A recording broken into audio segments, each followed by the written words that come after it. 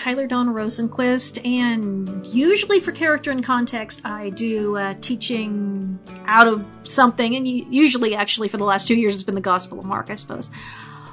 But last weekend, I did uh, talk to a homeschooling convention about what I consider to be the biggest danger to our children as far as they're walking away from the Bible and ultimately walking away from the faith if they aren't prepared.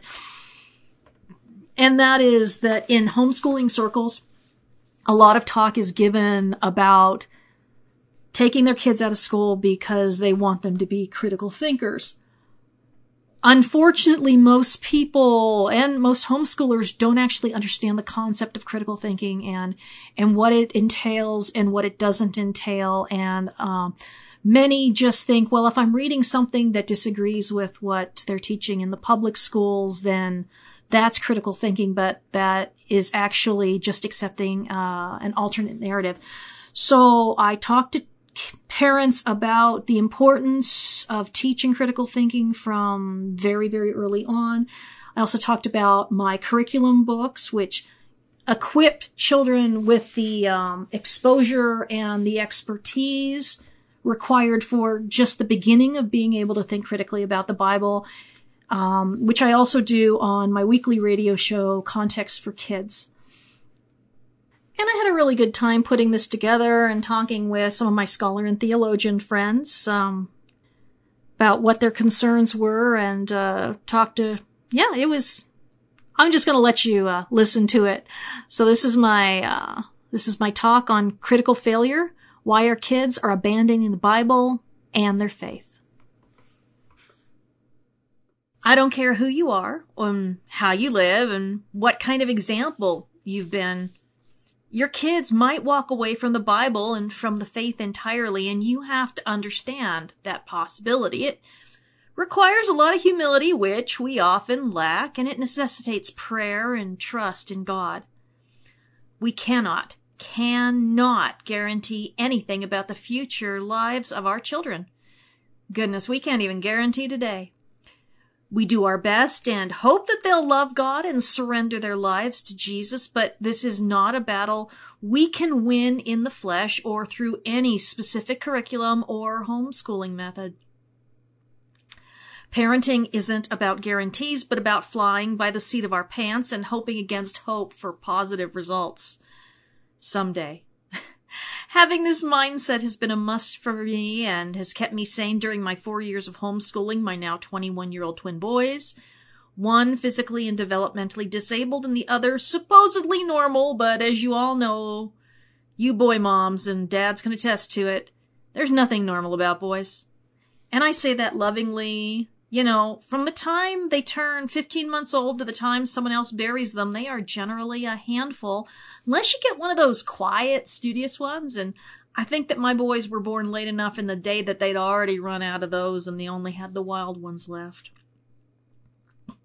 And sometimes we think we should try and tame them, and maybe we should. After all, which of us has not been tamed since we found our salvation at the foot of the cross and inside that empty tomb? Sometimes we forget that it was not the Bible that tamed us in any real way, but a relationship. The Bible can be seen by children as the enemy when we use it in ways for them that don't reflect our experience with the divine. So we have to be careful, else they end up like the wayward children of Israel who had a whole lot of do's and don'ts, but no indwelling of the Holy Spirit to write those commandments on their hearts in such a way that it became important to them, you know, this love of God and neighbor. Every religion on earth has rules and ethics, and anyone can follow rules and observe community morality if they set their mind to it. But what sets the followers of Jesus apart is that they're being transformed from within. And guess what? We can tell stories and we can live it out in front of them and we can hold them to our notion of what biblical standards look like, but we cannot open their eyes and draw them to the Savior. That's God's work. And so it's of the utmost importance that while we are telling the stories and impressing upon them the beauty of the Word of God, that we create a hunger within them for what we have.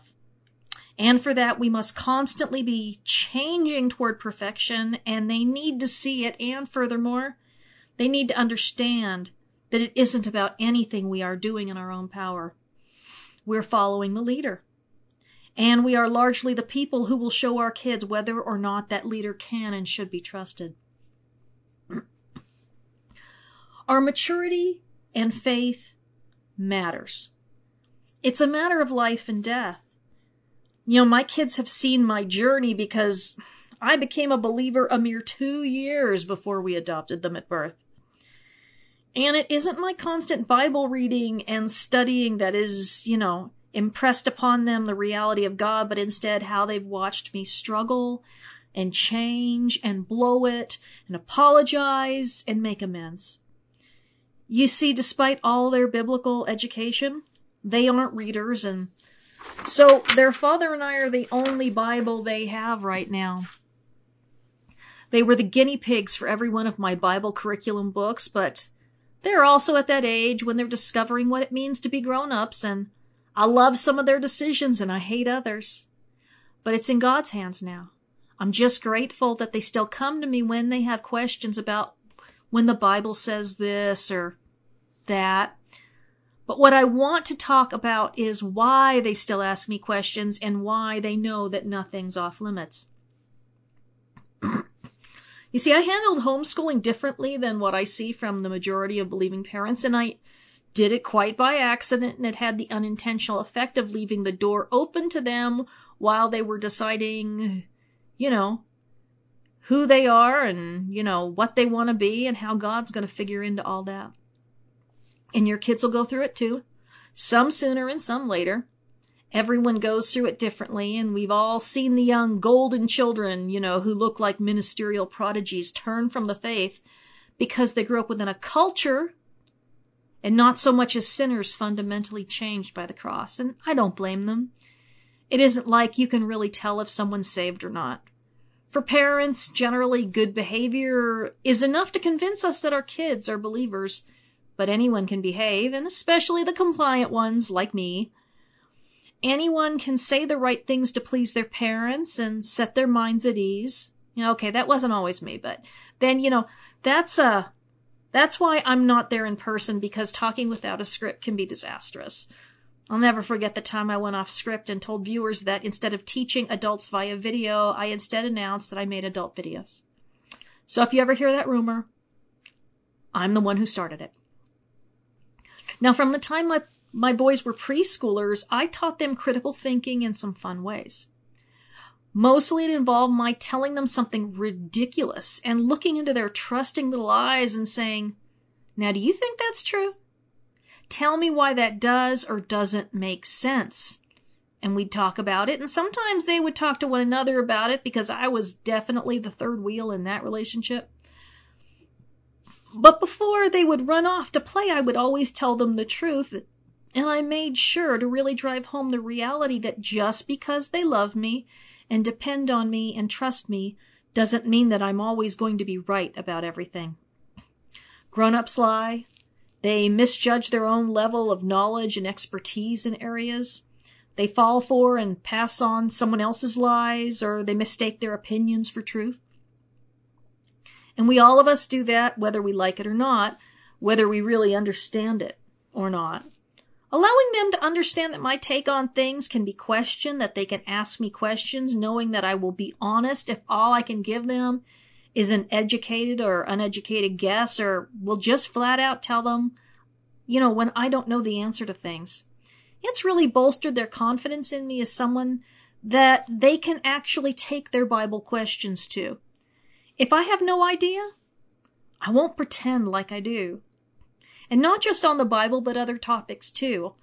You know, honesty and credibility begin with our being honest about what we do and do not know and being open to new information.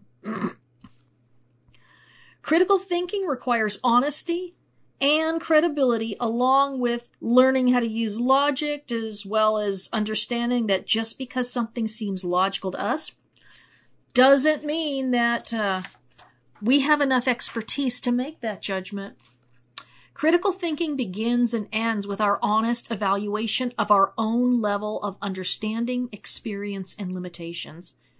And most kids, and even homeschoolers, never learn critical thinking because we parents are often fooled into thinking that uh, that teaching an alternate view from what they teach in public schools represents critical thinking when all we have done is to indoctrinate them in another view that they are not allowed to question, namely our views. I found out in my first year of homeschooling that I was very much indoctrinating my kids every bit as much as any public school could, and I'm not going to lie. We have had wonderful public school experiences in six different school districts, so I am not anti public school. Among other things, I had my kids absolutely convinced that the end times were close enough that they stopped caring about becoming adults because they never thought they would ever be adults. And I didn't even believe that myself. I just read the Bible to them. But I wasn't giving them the context. I also taught them you know, long before homeschooling started, to revere a lot of urban legends about Christian origins because I hadn't yet begun to delve into responsible scholarship. I thought I was teaching them to think critically, but what I was really doing was simply presenting a different, unquestionable narrative. And if that sounds familiar, you're not alone. The truth is that I had to learn to think critically about the Bible before I could teach my children that it was okay to question and wrestle, like Abraham, Jacob, Moses, the psalmists, the prophets, and many others did. Because if we don't allow them to think critically about the Bible and about faith, we are, one, being unbiblical in our approach to faith, two, leaving them helpless to the honest challenges, questions, and wrestling that others will present them with. Three, setting them up for failure because they might only have a relationship with a set of unassailable do's and don'ts, which, you know, might make us comfortable at our age, but strands them without any of the realities of an actual relationship with God when relationships are messy. And four, legalistic instead of wise. And we're going to talk about all those today, or, you know, I'm going to anyway. Disclaimer I am neither a scholar nor a theologian, but I play one on the radio. No, I mean, seriously, about 10 years ago, I began to dive deeply into the Olympic sized pool of biblical scholarship, and I think the first book I read was David De Silva's Honor, Patronage, Kinship, and Purity Unlocking New Testament Culture, and my brain exploded, which probably explains a lot. I became obsessed with biblical sociology, as my Amazon bill attests to. It changed how I read everything, and different scholars had different opinions based upon their fields of expertise. And when they were all combined, the Bible became this beautiful mosaic highlighting the story of God's rescue plan for humanity while teaching us wisdom and love and compassion and hospitality and humility and presenting us with conflicting commandments that force us to cleave to Him, to wrestle with him, to be continually depending on his wisdom and begging him for a larger share of it. And I learned about covenants and all these obscure passages in the Bible. It was like I had been living in a dark room and somebody flipped on a switch. The point is that we cannot think critically without experience, exposure, and wisdom. Experience in relationship with God and others alerts us when a verse about God and our responsibilities toward others are being taken out of context and manipulated and misrepresented. We need to know who God is and isn't before we go out trying to be his ambassadors in the world, and especially before we try and model him for our kiddos. Exposure is almost as important as experience and the least utilized and especially within fundamentalism and triumphalistic denominations. If all we have are approved interpretations, we will be incapable of thinking critically, and if we're not allowed to be exposed to people who see things differently, we will have no other choice than to assume that there is only one way to look at a passage. Quashing questions and shaming and discouraging the questioner are all ways of stomping out the dangers of exposure to new ideas, but a faith that doesn't know of any other t- alternative isn't a faith at all. Faith is inherently about trust and it is a fluid thing. Where there is no room for questions and wrestling, no faith is needed. No faith is really even possible. And the freedom to question must be instilled early, at the home, where it's safe, or it will happen out in the world where you have no say whatsoever. And for those of us who were not allowed to question and were forced to accept what we were presented with, often blindly, we have to learn the freedom the Bible gives us to question, first and foremost, before we are safe people to be questioned.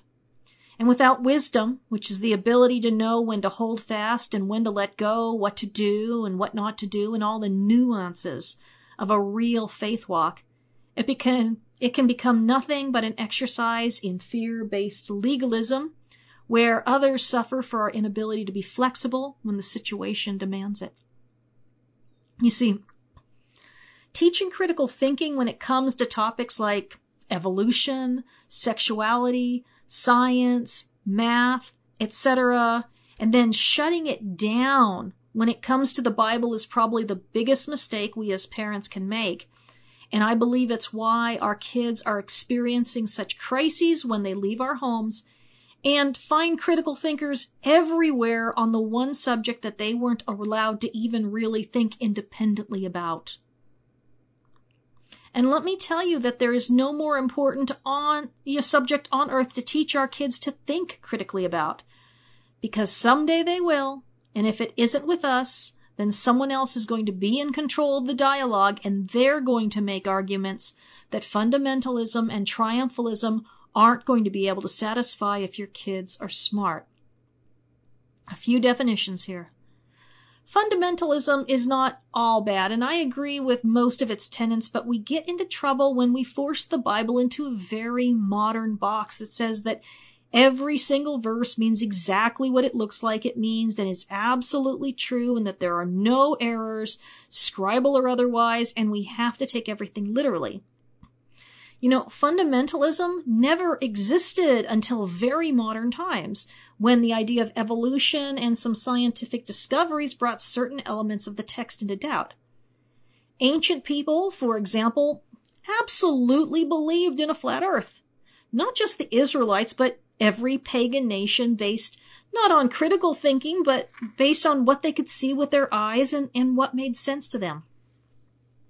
Until 500 BCE, they also believed that brains were useless skull wadding and that thoughts originated in the heart and emotions from other internal organs. So the Old Testament supports this belief while in the New Testament, Jesus and Paul talk about thoughts originating in the mind instead of in the other organs. Now, as a scientist who has also studied the ancient world, I much appreciate that God spoke to Moses' audience in terms that they can understand and not in terms of scientific accuracy. Because if God had been scientifically accurate, he would have to invent new words and would have no way of even beginning to teach us or teach them what those words meant. And for that matter, it would be beyond our understanding now as well. And although it seems wise to tell kids that every word in the Bible is literally and accurately true, which is important to us as post Enlightenment people, instead of truth, which is based on the priority the ancients gave to wisdom, yeah, it's, it's a recipe for disaster. God speaks to us where we are, and he spoke to them where they were.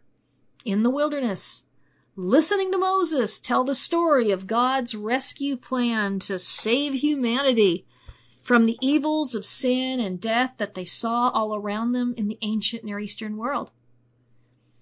Was not a book to teach them about science. They simply wouldn't have even understood the concept of a world that wasn't micromanaged by gods and goddesses, as evidenced by their continually worshipping regional deities alongside Yahweh throughout their existence.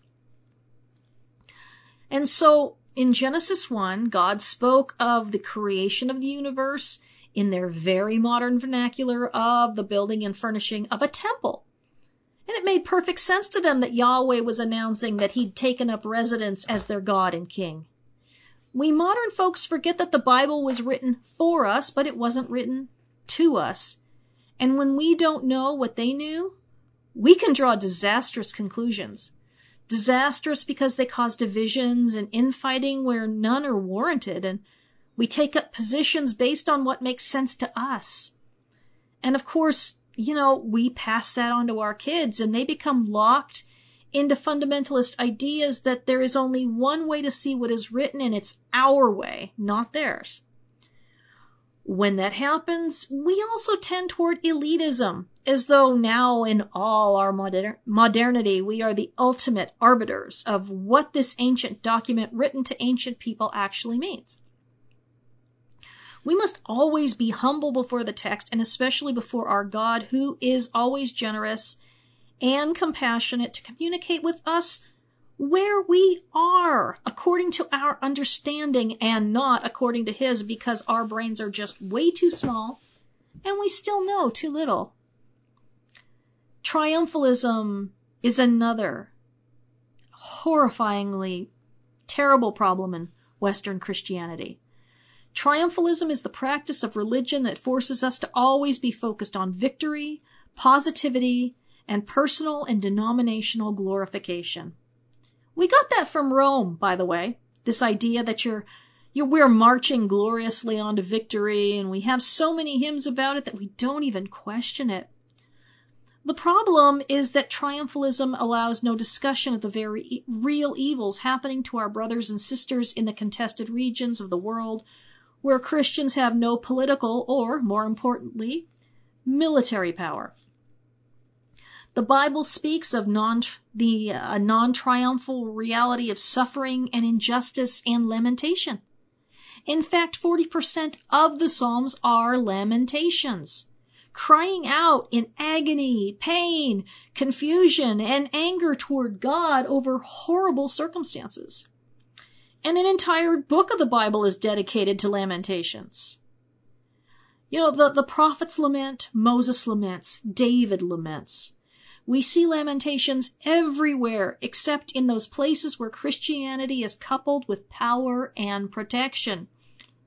But we must think critically about the reality of the historical church in the world, and we must teach our children to think critically about the triumphalist, Christian nationalistic narrative because it is not reflected in the Bible nor in the rest of the world. And when our adult kids are asked the hard questions about theodicy, um, uh, the, that's what you call it, uh, the question of how a good God can allow terrible evils. If they aren't familiar with the terrible evils described in the Bible and have only been handed empty platitudes, they will be again unprepared.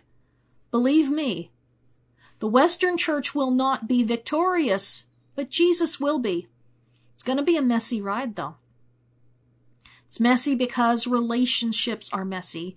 Faith is messy. We should embrace the mess and teach our kids to do the same, or they will leave our houses so rigid that they will snap as soon as pressure is applied. We need to raise them up as children of the book, yes, but all of the book and especially the messy parts. And we need to get to the point where we and they can do it fearlessly.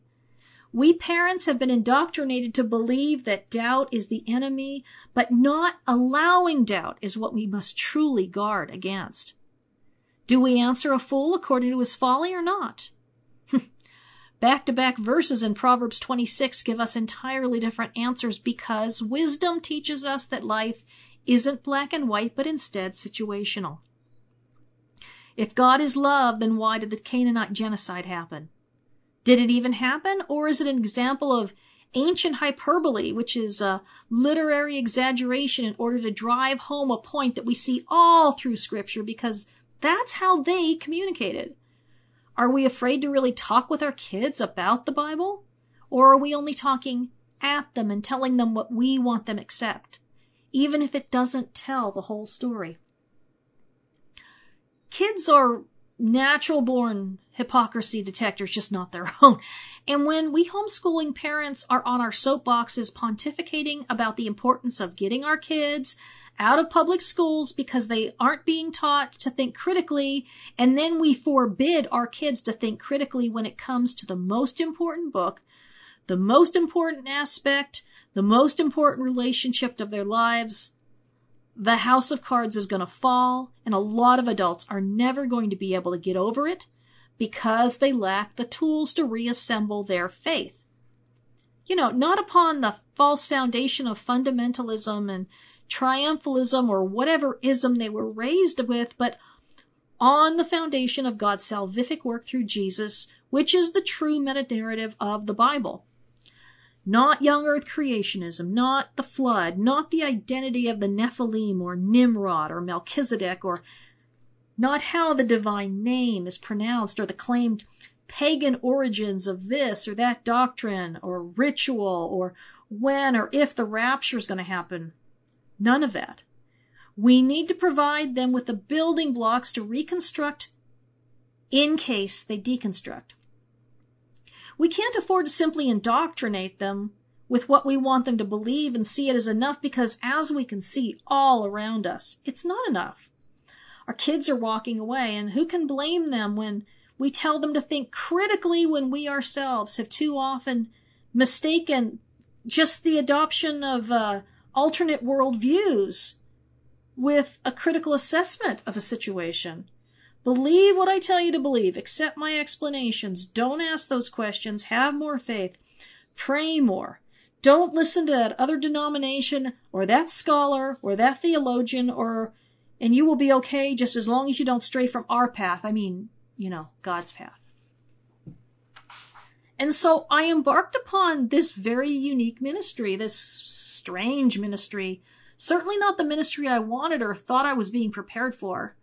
Yeah, I had a series of dreams involving children uh, beginning in 2004, where I was surrounded by 100 children and none of them were biological. So you can imagine how terrifying that was. Uh, I had no idea how that was going to happen, and I didn't even want to think about it, honestly. I was absolutely terrified that it meant we're going to be foster parents to 100 kids.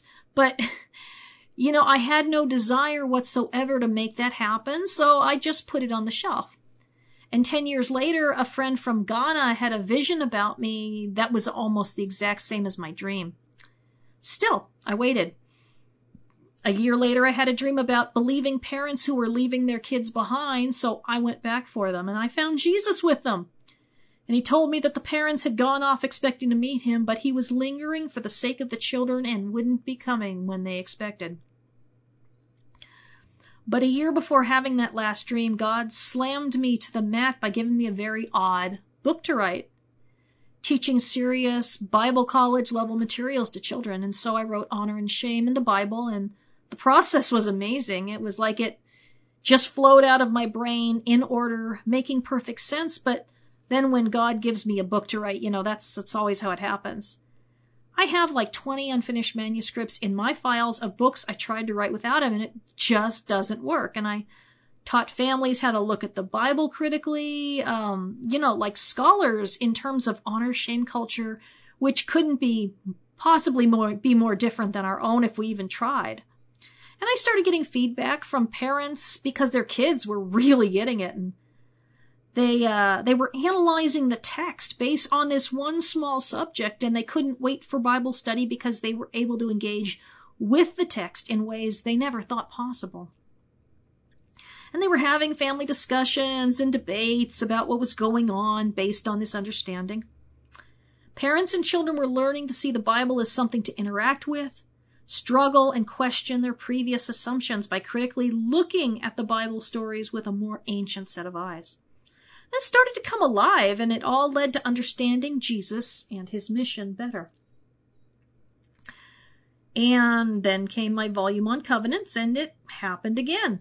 Kids were writing their own suzerain and vassal covenants and exploring what it meant to be in covenant through the eyes of Noah, Abraham, Moses, Phineas, David, and Jesus. They learned about kings and vassals and land grants and the difference between covenants and treaties and testaments and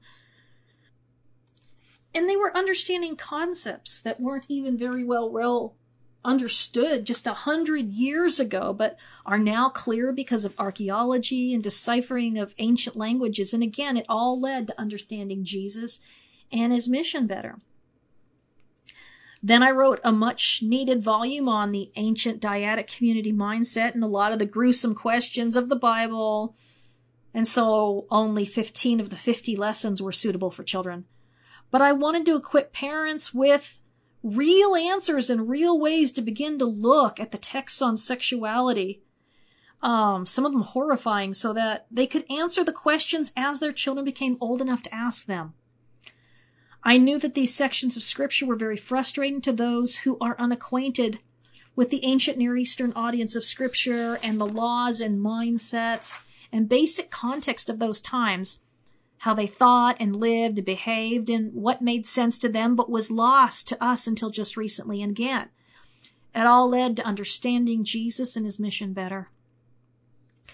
My final volume tackled what being an image bearer meant to the people of the ancient world, and we explored some what if stories about how life could have been very different apart from the rebellion in the garden.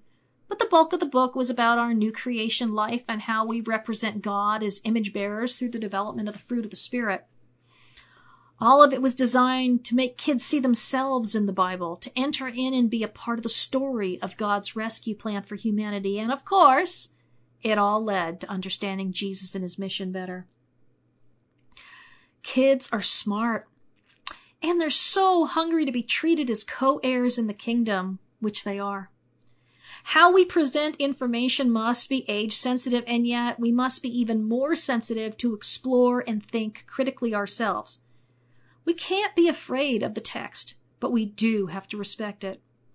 We can't box it in as though we need to keep children safe from it or we need to be kept safe from it as though it could possibly give us an entirely complete picture of God, who is forced to communicate his ineffable, indescribable greatness through metaphors because there simply are no words that are sufficient.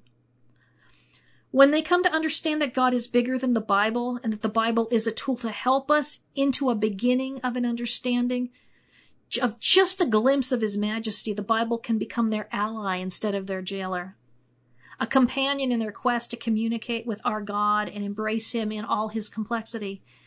And when that happens, they will still struggle with the hard questions and doubts and the confusion, but it will be with the Bible as a companion that speaks different truths in different situations and not as an adversary who's cold, cruel, detached from our struggles. We must give them a Bible that is like Jesus and not a Bible that fits into what we think we can manage and control. Jesus was unpredictable in his beautiful wisdom, never saying quite what we would expect or doing quite what we think he should or conforming to any standard of behavior that we can predict with any amount of assurance. The Bible doesn't tell us why one man is stoned for gathering sticks on the Sabbath when David lived despite his sexual assault of Bathsheba and his murder of her husband. God is complex. Jesus is complex. The Bible, therefore, is complex as well and probably inspires more questions than it gives answers to. To honestly be in a relationship with the God of the Bible and Sinai and the cross and the empty tomb takes a lot of stepping back and letting go of our need to be certain, which has reached idolatrous levels in the modern world. In reality, a God that can be predicted is a God that is small enough to fit into my approval zone and not big enough to rescue us from sin and death. When children can be told that, like Aslan, you know, um, God isn't tame and manageable, but wild and good. He becomes big enough for them to trust with their lives, their fear, their sadness, their future, and their questions and anger as well. The God who fits in a box is generally either shockingly permissive or crushingly legalistic, and cares what we care about and hates what we hate. The Bible tells different stories about God for the same reason that our friends, families, and neighbors can tell entirely different stories about us with any of, without any of them being lies. As we are complex creatures by design, God is even more so, and I thank God for it. But this beauty cannot be appreciated when we do not allow our kids to think critically about what they're reading and what it might mean, and to listen to other critical thinkers, and when they don't even know that it's possible to look at the Bible and see what it really does and doesn't say. when we take off our denominational, fundamentalist, triumphalist glasses and really delve into what it's saying. And yes, kids can do that too.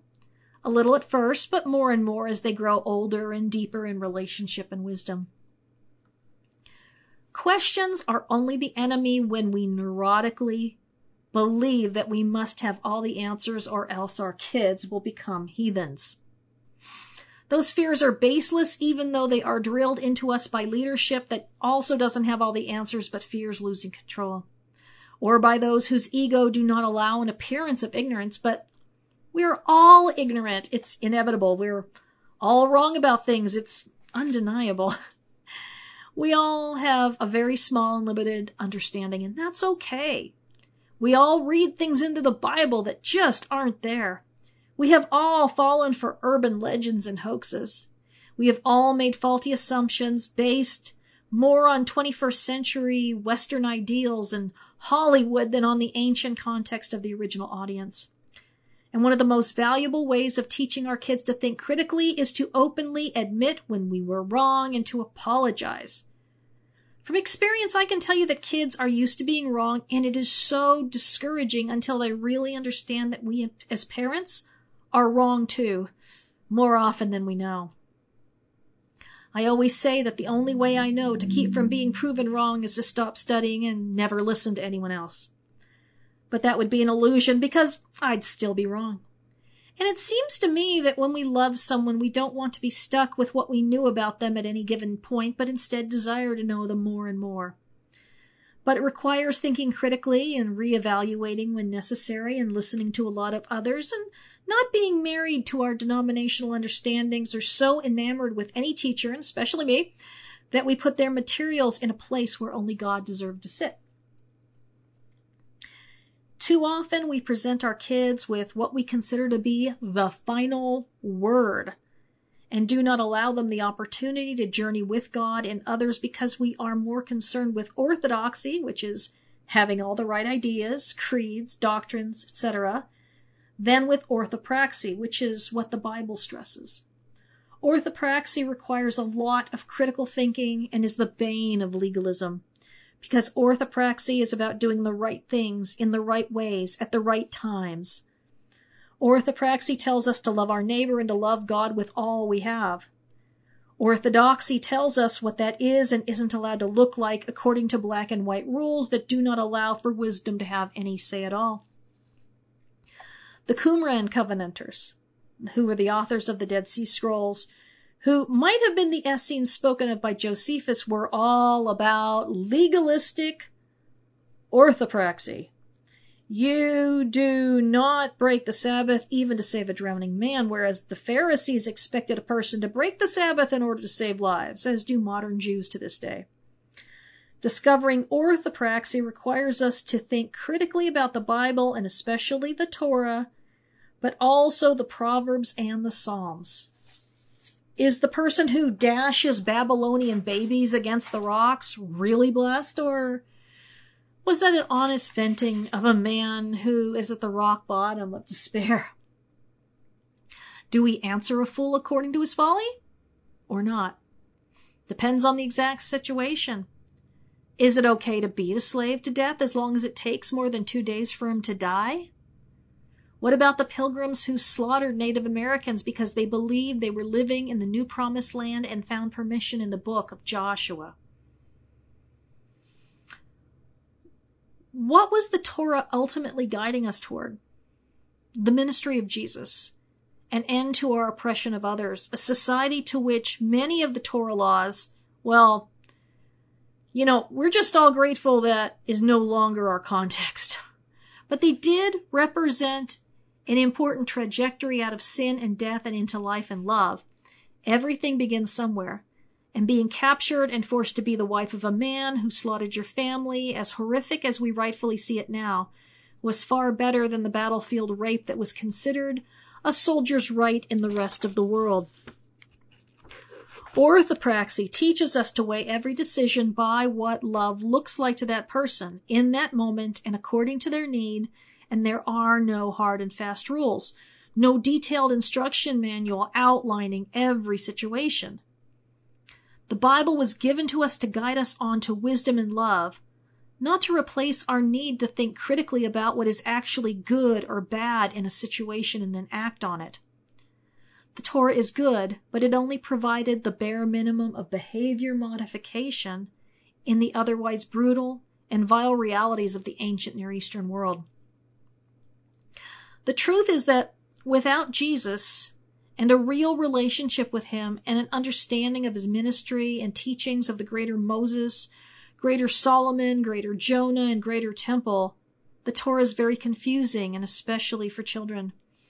And so by interweaving the Genesis stories with archaeology, sociology, sound ex- exegesis, uh, history, and most importantly, Jesus, on my radio show Context for Kids, I am teaching kids to go beyond the text into a living, breathing, struggling, questioning, happy, sad, real faith that is not simply a set of beliefs, but an outworking of trust in the inherent messiness of God being real, Jesus being real, and our relationship with Him being real as well.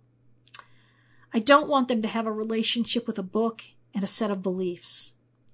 That leaves us no better off than Muslims or Buddhists. I want them to have a vibrant, growing, interactive relationship with the King of Kings where they are allowed to do all of the things that the biblical authors did as they wrestled with God and knew Him and knew that He knew them.